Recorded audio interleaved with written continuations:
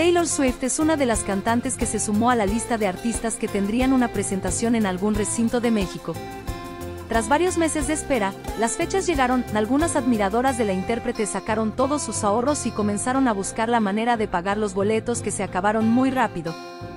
Sin embargo, en medio de esto, una madre decidió hacerle una cruel broma a su hija con respecto al mencionado concierto.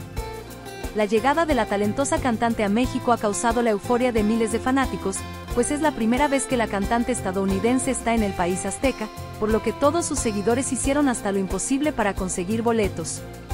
Por eso, los fans no pudieron con la gran emoción de verla en vivo y muchos de ellos destacaron por la inversión que realizaron para ser parte de alguna de las fechas.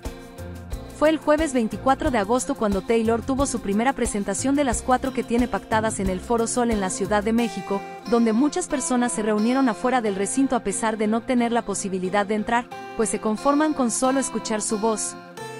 Pero hubo un personaje que llamó la atención de los demás, una madre de familia afirmó que se gastó el dinero que era para su hija y así poder estar presente en el concierto. A través de TikTok se ha viralizado la historia de una mujer quien aseguró que prefirió comprar boletos para ver a Taylor Swift en su gira, Darreas Tour, en vez de comprar útiles escolares para su hija.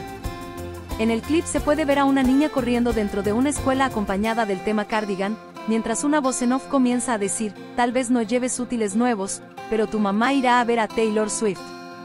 La publicación de la madre mexicana se hizo viral y acumuló más de 3 millones de visualizaciones. Aunque en los hashtags dejó en evidencia que se trató de una broma, algunos usuarios tomaron el hecho muy en serio y criticaron a la mujer. Sin embargo, otros internautas también piensan que esto podría ser real, pues hay muchos fanáticos que harían cualquier cosa por ver a la cantante. Sin embargo, Taylor tiene seguidores de sobra en México, y eso queda demostrado en el video, donde cientos de Swifties, nombre que se le da al grupo de fans de la cantante, aprovecharon la caja de comentarios para afirmar que la decisión de la joven fue la correcta. Ella perderá sus colores, pero tú no perderás una experiencia única, a ella le quedan años de escuela y no sabemos cuándo va a regresar Taylor, y ella todavía va a estudiar unos 15 años más, Taylor Swift no sabemos cuándo regrese, fueron algunos de los comentarios que se pudieron leer en el video que también se volvió viral en otras redes.